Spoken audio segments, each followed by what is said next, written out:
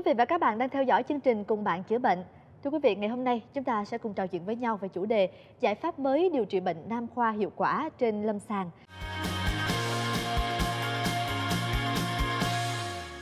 Thưa quý vị, xuất tinh sớm là một trong những căn bệnh thường gặp và nó gây ra rất nhiều phiền toái đối với cánh mày râu, đặc biệt là đối với quan hệ vợ chồng, đối với hạnh phúc hôn nhân gia đình. Tuy nhiên thì căn bệnh này hoàn toàn có thể điều trị dứt điểm nếu như chúng ta có được những thông tin và những kiến thức về căn bệnh này. Ngày hôm nay chúng tôi sẽ cung cấp tất cả những kiến thức về vấn đề này cho quý vị và các bạn à, cùng với một chuyên gia mà chúng tôi đã mời đến trường quay. Xin được giới thiệu giáo sư tiến sĩ Dương Trọng Hiếu đến từ Bệnh viện Y học Cổ truyền Trung ương. Xin chào ông. Trước khi đến với cuộc trò chuyện này thì à, ngay bây giờ xin được mời à, khách mời của chương trình cùng với quý vị khán giả hãy theo dõi một đoạn phóng sự về nhân vật mà chúng tôi đã mời đến trường quay ngày hôm nay. Anh Nguyễn Đăng Khải là một kỹ sư xây dựng ở Hà Nội. Thời gian trước đây, anh Khải hạnh phúc biết bao nhiêu thì giờ anh đã bắt đầu lo lắng cho tình trạng sức khỏe của mình. Hiện tượng suy giảm sinh lý trong mỗi lần quan hệ đã ảnh hưởng rất lớn đến hạnh phúc của vợ chồng anh.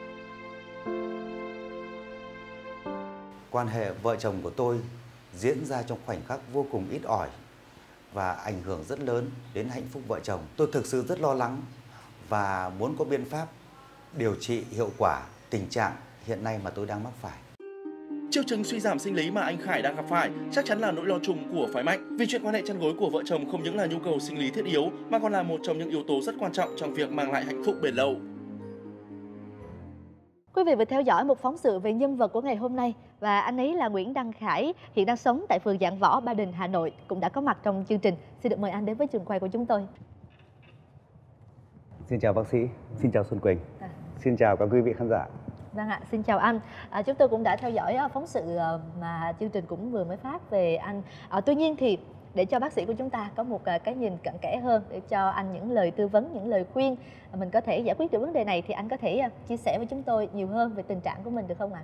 Vâng, thưa bác sĩ, tôi muốn hỏi bác sĩ một chút, tức là trước đây khi mà tôi lấy vợ thì cái tình trạng cũng cũng nếu như nói để không hòa hợp thì nó cũng cũng cũng chưa hẳn. Ừm, tôi cũng có những cái tình trạng bị xuất tinh sớm nhưng ờ, rồi thì tôi cứ nghĩ là cái việc này nó cũng bình thường. Và tôi cũng quên nó đi.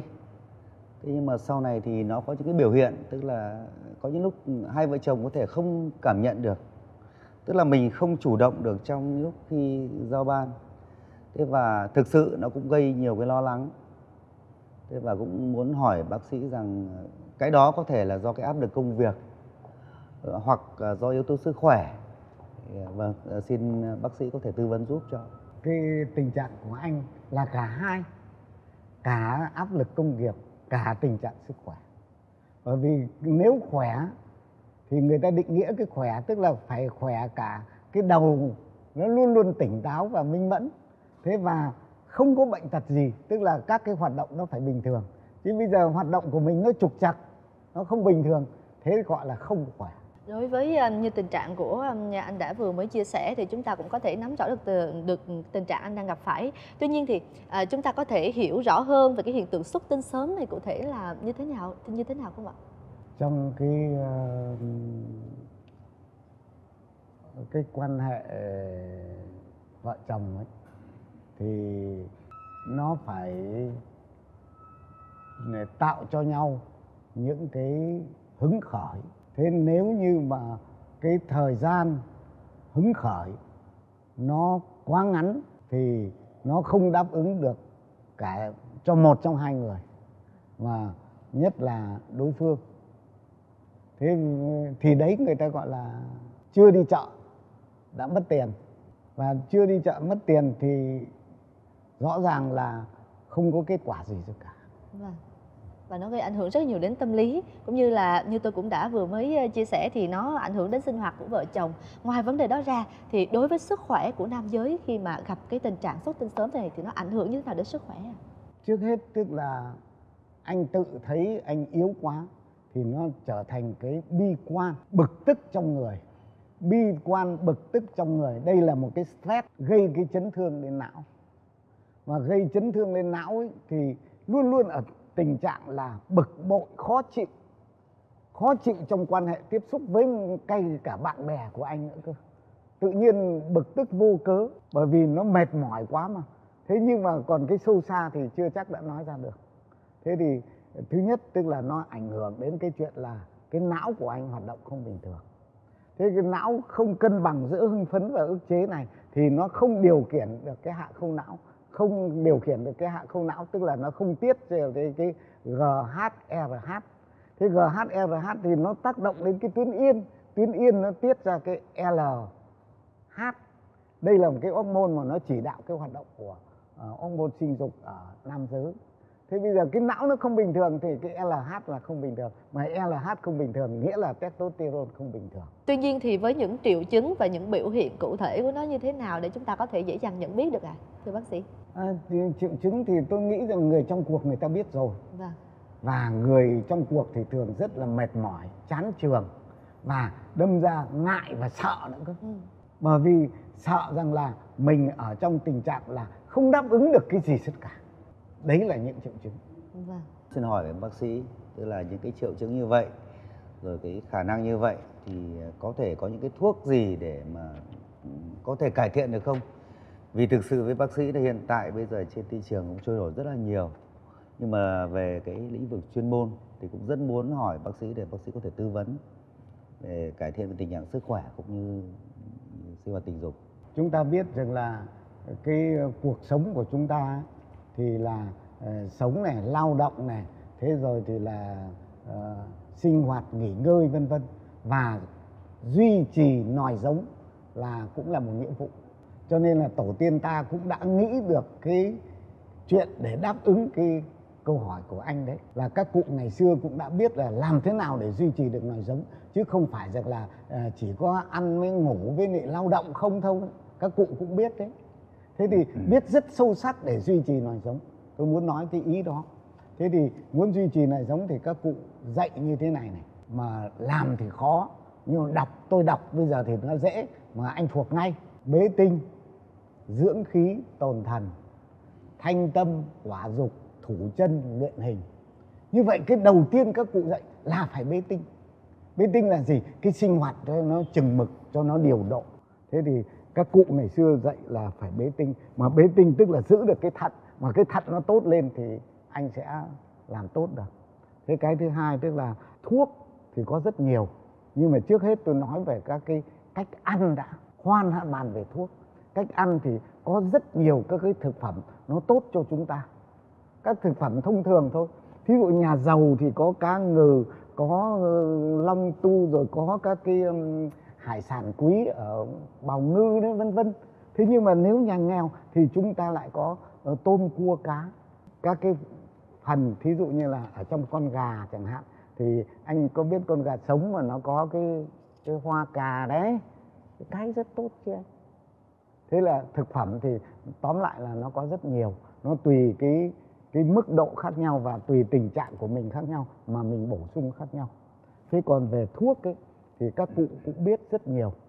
Biết rất nhiều, thí dụ như là biết các cái cây như là dâm dương hoắc, nhục thung dung, rồi ba kích, rồi thì sơn thù, và một trong những cái bài thuốc kinh điển ngày xưa để hỗ trợ cho cái thận là thuộc địa hoài sơn sơn thù, nam đi, phục linh, trạch tả chẳng hạn. Thế người ta thêm các cái vị khác, thí dụ như là thỏ ti tử, hoặc là dâm dương hoắc và ba kích vào đây, thế thì nó rất là tốt cho cái thận.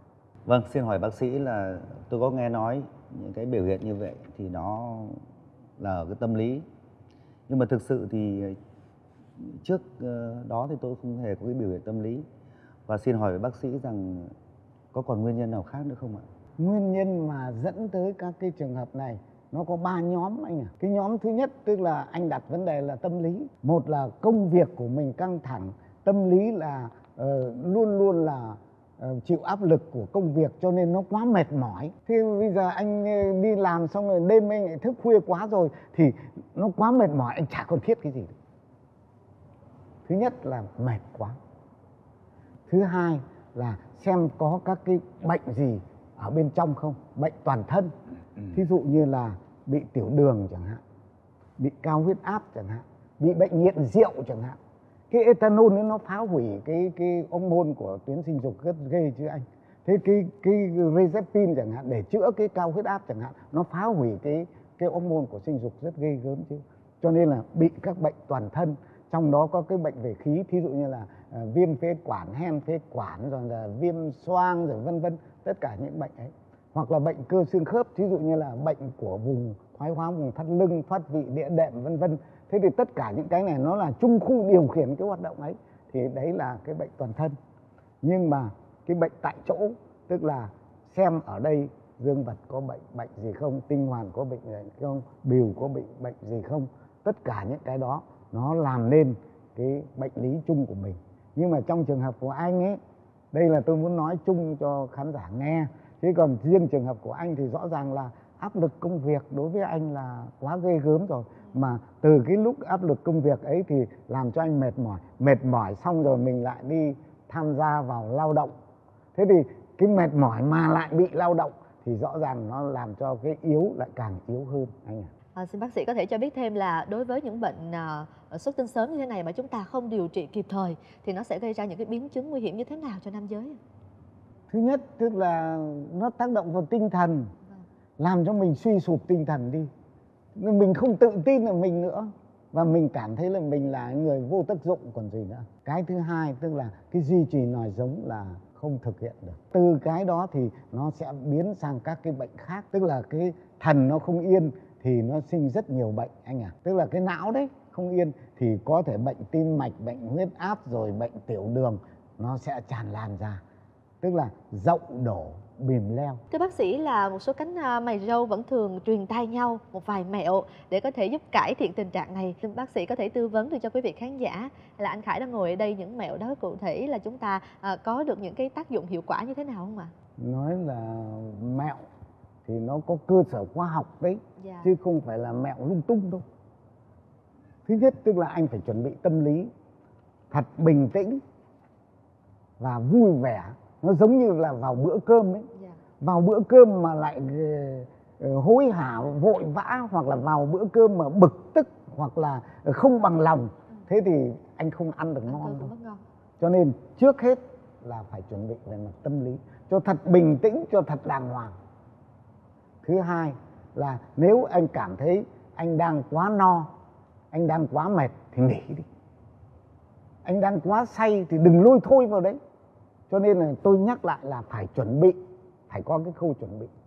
Thế chuẩn bị là không quá đói không quá mệt không quá uh, say không quá buồn phiền chẳng hạn và đi vào cái tư thế phấn khởi thì đấy là một cái mà anh thành công. Cái thứ hai tức là anh có thể làm một vài động tác để tập thở hít sâu chậm dài hít bằng mũi thở ra bằng mồm để cái khí của anh nó sung mãn nó đầy đủ.